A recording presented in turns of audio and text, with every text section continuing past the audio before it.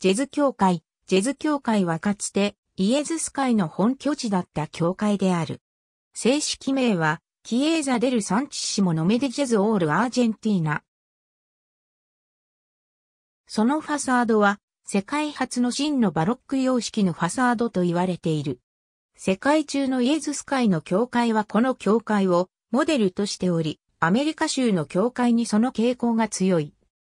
ジェズ教会はローマのジェズー広場に面している。1551年、イエズス会を創立した聖イグナチオ・デ・ロイオラが構想した。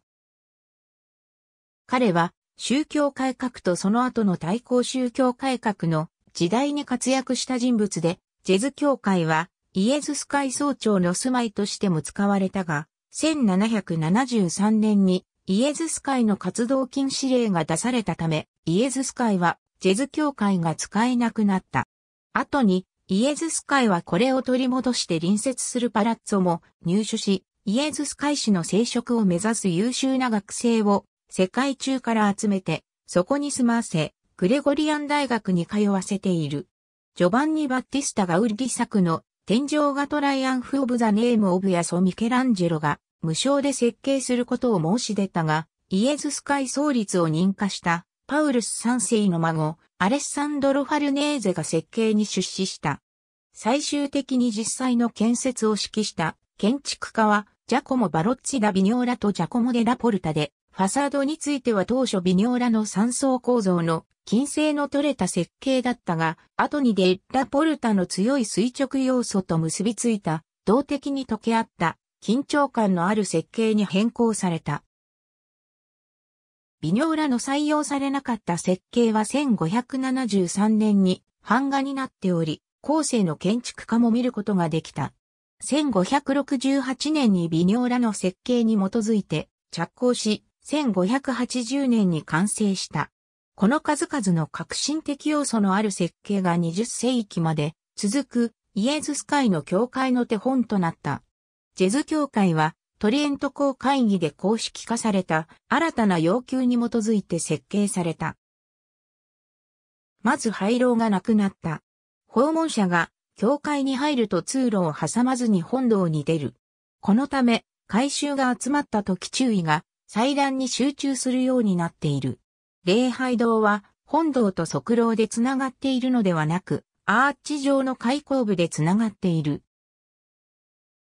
それらの入り口部分は装飾的な手すりで仕切ることができる。翼廊は短く、その端にある祭壇が強調されている。その設計は世紀ルネサンスの集大成であり、ドームの雄大なスケールとクロッシングの四隅の突出した柱が特徴的である。拡張した本堂は、フランチェスコ会やドミニコ会が13世紀に確立した様式の特徴だった。あちこちにはめ込まれた多彩式の大理石には金メッキされたレリーフがあり、筒型ボールトの天井にはフレスコ画が描かれ、白い化粧漆喰と大理石の彫刻がそれらの構造から浮き上がって見える。ジェズ教会によって側廊のある伝統的なバシリカがなくなったわけではないが、バロック建築の教会では十字型の平面図は小さめの教会や礼拝堂でしか見られなくなった。内装内部装飾で最も目につく天井のフレスコ画はジョバンニ・バッティスタ・ガウルディの壮大なトライアンフ・オブ・ザ・ネーム・オブ・ヤソである。ガウッリはクーポラにもフレスコ画を描いている。新郎の右側の第一礼拝堂は、聖アンデレ礼拝堂と呼ばれている。これは、ジェズ教会を建てるために取り壊された古い教会が、聖アンデレに捧げられていたことに由来する。すべての絵画装飾は、フィレンツェのアゴスティーノ・チャンペッリが完成させた。アーチ上には、男性殉教者が描かれ、壁柱には、女性殉教者が描かれている。天井のフレスコ画には、栄光のマリアとそれを取り囲む殉教した聖人たちが描かれている。ルネットには、嵐に立ち向かう聖アグネスと、聖ルチアと、聖ステファンと、聖ラウレンティウスが描かれている。祭壇飾りには、聖アンデレの殉教が描かれている。右側の第二の礼拝堂は、受難の礼拝堂と呼ばれ、イエスの受難の光景があちこちに描かれている。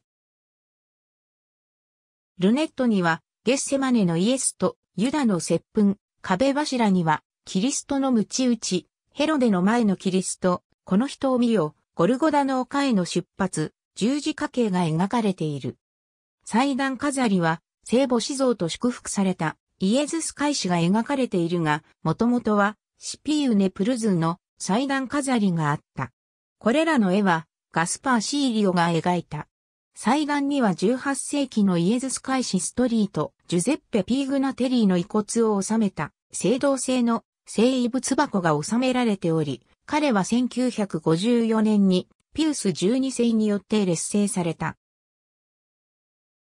壁の聖杯は21代と28代のイエズス会総長を記念したものである。右側の第3の礼拝堂は天使の礼拝堂と呼ばれ、天井のフレスコ画には聖母体感、祭壇飾りにはフェデリコ・ツッカリの三位一体を礼拝する天使たちが描かれている。同じ作者の絵が壁にもあり、右には反逆の天使の敗北、左には魂を煉獄から解放する天使たちが描かれている。他にも天国、地獄、煉獄を描いたフレスコ画がある。壁柱の壁画にある天使像はシーリャ・ローンディとフラミニオ・バッカの手によるものである。右の翼廊にあたる大きめの礼拝堂は、聖フランシスコ・ザビエル礼拝堂がある。ピエトロ・ダ・コルトーナの設計である。多彩式の大理石に囲まれた化粧漆喰のレリーフには、天使によって天国に迎えられるザビエルが描かれている。祭壇飾りは、カルロ・マラッタによる上川等でのザビエルの詩である。アーチ状の装飾には、ザビエルの生涯が描かれている。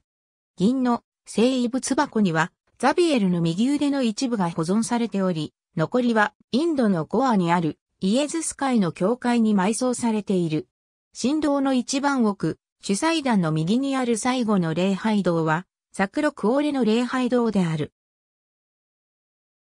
聖具保管室は右側にある。聖職席にはベルニーニ作のロベルト・ベラルミーの数奇鏡の胸像がある。短縮された翼廊が雄大な礼拝堂として機能する。聖イグナチウスの礼拝堂左側の第一の礼拝堂は、もともとは首都に捧げられていたが、今は聖フランシスコ・ボルハ礼拝堂となっている。ボルハはスペインのガンディア公だったが、その地位を放棄してイエズス会に入会し、第三代総長になった。祭壇飾りは、アンドレア・ポッツォの聖フランシスコ・ボルハの祈祷式が描かれている。天井やルネットのフレスコ画は、ニーコロー・セルキニアニーの作である。壁には、ピエール・フランチェスコ・モーラのフレスコ画がある。絵の主題は、ペテロやパウロが多い。左側の第二の礼拝堂は、キリスト生誕に捧げられており、聖家族礼拝堂と呼ばれている。キリスト生誕を描いた祭壇飾りは、セルキニアニーの作品である。天井画は、キリスト生誕への展開の祝福を描いており、小戦闘の上には、ダビデ、イザヤ、ゼカリア、バルクがあり、ルネットには、羊飼いへの告知と、幼児虐殺が描かれている。他に、東方三博士のフレスコ画などがある。四つの偶意的像は、節制、慎重さ、不屈さ、正義を表している。左側の第三の礼拝堂は、フランチェスコ・バッサのザ・ヤンガーによる祭壇飾りから三位一体の礼拝堂と呼ばれる。この礼拝堂のフレスコ画は1588年から1589年に主に三人の画家が完成させたもので、それぞれの作者はよくわかっていない。しかし、天地創造の絵や壁柱の天使たち、その他のフレスコ画は、ジョバンニ・ボティスタ・フィアマリーの作と言われている。左の壁のキリストの変容と、右のアブラハムと三人の天使は、ドゥランテ・アルベルティの作とされている。残る一人は、ベンチュラ・サランベニーである。祭壇の上の聖遺物箱には、1657年に殉教し1938年にピウス11世によって劣勢されたポーランド人イエズス会氏アンジェ・ボボラの右腕が収められている。次の聖イグナチウス礼拝堂はこの教会の中でも最高傑作とされており、アンドレア・ポッツォが設計した。そこには、イグナチオ・デロヨラが埋葬されている。ポッツォが設計した祭壇は、三位一体を表しており、ラピスラズリで装飾された4本の円柱が、ピエール・ラグロ作の聖イグナチウスの巨大な像を取り囲んでいる。ただしこの像は、後世の複製で、アントニオ・カノーバの工房で働いていた、アダモ・タデリニーの作と言われている。本物は、ピウス6世がナポレオンへの戦争賠償金を支払うためという名目で溶かした。もともとは、ジャコモ・デ・ラポルタが設計したが、後に祭壇の設計を公募し、ポッツォの設計案が勝利した。聖イグナチウスの遺骨を収めた聖遺物箱は、アルガルデの制作した聖堂製で、その左右に異教を打倒するキリスト教という像と、邪教を打倒するキリスト教の信仰という像がある。日中、聖イグナチウスの像は大きな絵で隠されているが、毎日17時30分になると大音響の音楽と共に絵が下にスライドし、像が現れて、スポットライトで照らされる。神道の一番奥、主祭壇の左にある最後の礼拝堂は、マドンナ・デラ・ストラーダの礼拝堂と呼ばれている。これは現存しない教会で見つかった中世のイコンに由来する名称で、聖イグナチウスがそれを警護していたという。内装は聖母の生涯を描いている。ジェズ教会は世界中のイエズス会の教会のモデルとなった。最初にジェズ教会をモデルとして建てられた教会として、ミュンヘンの聖ミヒャエル教会やネスビジのキリスト生態教会がある。また、ジェズ教会という名称も各地で共有された。ありがとうございます。